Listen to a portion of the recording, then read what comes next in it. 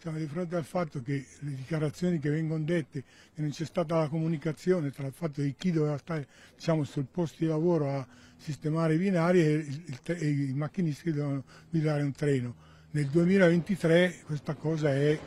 inaccettabile, sottolineo inaccettabile